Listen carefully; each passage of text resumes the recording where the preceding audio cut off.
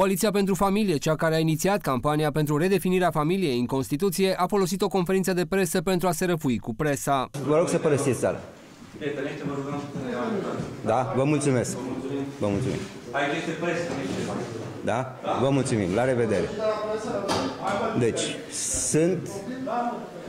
Au fost emisiuni, emisiuni programate la Cluj, emisiuni programate în alte locații, care s-au fost încheiate, întrerupte. Cei care au îndrăznit să ceară numele televiziunilor acuzate de părtinire au fost dați afară. Dacă dumneavoastră așa înțelegeți maniera de a face presă, este mai mult decât clar și voiam să vă spun și voiam să vă reamintesc că inclusiv la TVR au fost cazuri similare ca cele de la Digi, respectiv s-a făcut emisiune totală în lipsa noastră. Televiziunile au fost acuzate că îi bazjocoresc pe cei 3 milioane de români care au semnat pentru schimbarea Constituției. Cei 3 milioane de români și-au expus o voință fermă, clară, constituțională, legală.